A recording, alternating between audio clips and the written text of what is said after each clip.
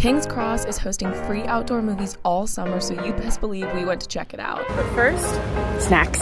So I met my friend in Tesco to grab some movie marathon essentials and then hightailed it around the corner to King's Cross Canal. We managed to nab a spot with a beanbag, which saved us having some numb bums by the end, and settled in for an early 2000s classic. Even though the bright sunshine baked us from time to time, this was still such a fun way to spend the afternoon. 10 out of 10 summer activity.